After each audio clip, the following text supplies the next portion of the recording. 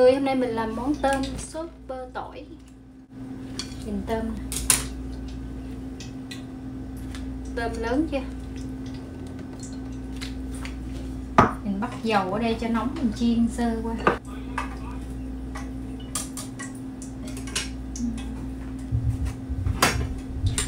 Ok. Món này mình có một ít đầu hành nè. Tỏi băm. Bơ nữa. Rồi khoảng một muỗng tương cà. Rồi khoảng một muỗng đường. Được rồi.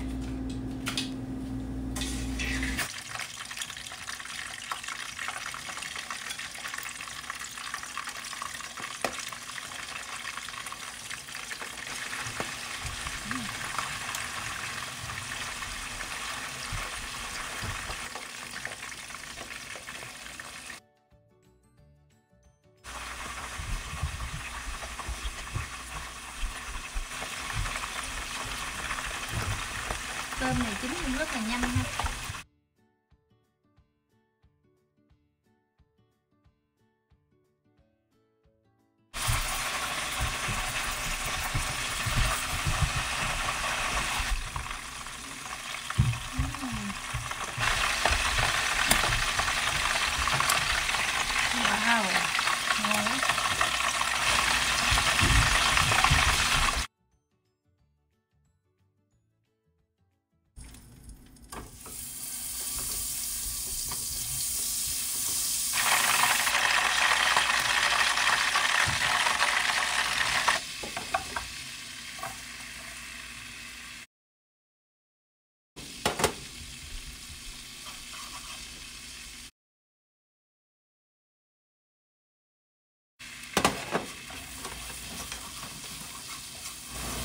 Cho một muỗng đường.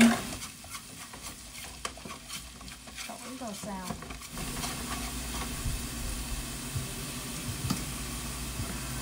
Nửa muỗng cà phê muối. Một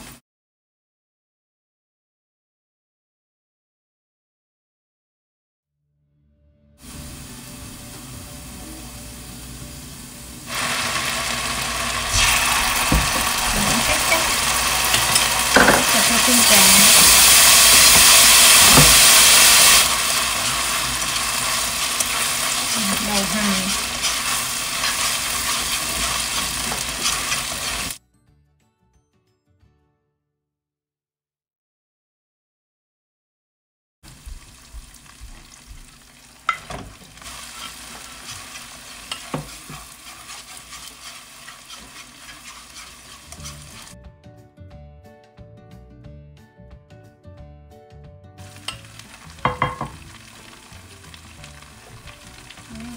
tôm vào xào lại. Nó đều nó thấm hết cái sốt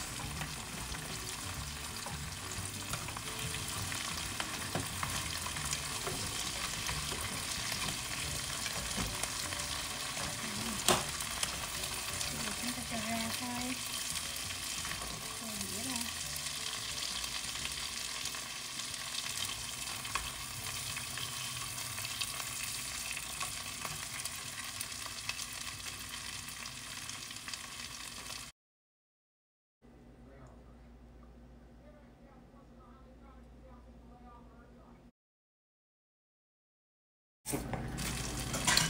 mời mọi người nhé.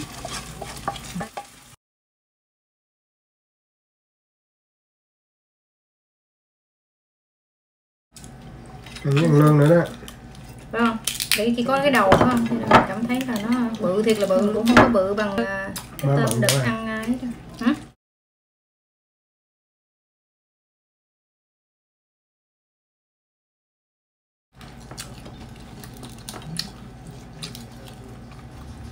ăn bốc luôn. Ăn hải sản là phải ăn bốc mới ngon. Không giật cái vỏ ra cho ông gà lọc cái đôi đó nó phải em lột Ăn tay ăn phải ăn tay. Ăn hải sản mà không có dùng tay không có cách nào có thể lột được hết. Ớt xanh. Mình phải chịu hy sinh cái tay mình dơ trước. Đôi cái này rang me phải ngon. Ừ. Như vậy rang me ăn cũng được. Thích rang me thì rang me thôi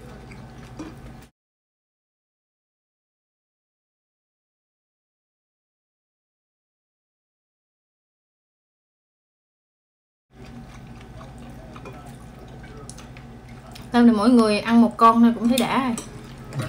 Quá ngon. Con rưỡi rồi ăn hai con ăn không nổi đâu ừ. Mỗi người ăn dữ là ăn một con rưỡi thôi à. Hai con là ngán luôn á hả?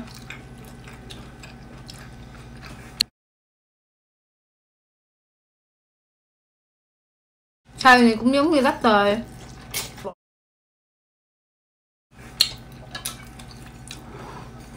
It's almost like eating lobster tail ừ. Hứ. ngon hơn là ăn lobster của sọt rồi Very good. nhưng mà Nó chắc ngon đúng không? it's more tender Ừ. See cái đuôi nó is not that much different than lobster tail Ừ.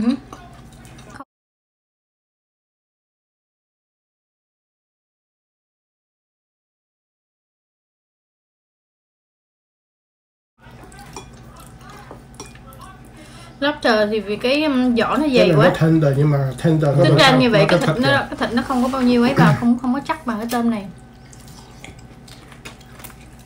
Ừm.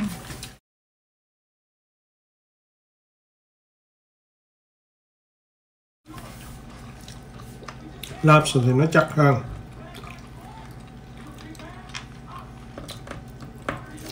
chế biến hải sản này rất là nhanh mà mình làm mình chiên hoặc là mình luộc hấp cái gì cũng nhanh. Xíu quá tỏi lâu quá là nó bơ tỏi overcook nó chín quá rồi trở thành nó hết ngon.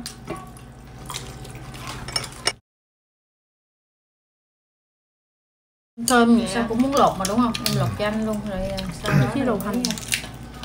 lấy ra dễ dàng hơn. Slide nó dễ dàng hơn. Hết cái này nó sẽ sẵn nè chứ gì slice đừng có cơ Nè, được rồi. Anh cũng đã cắt sẵn Ooh, yummy.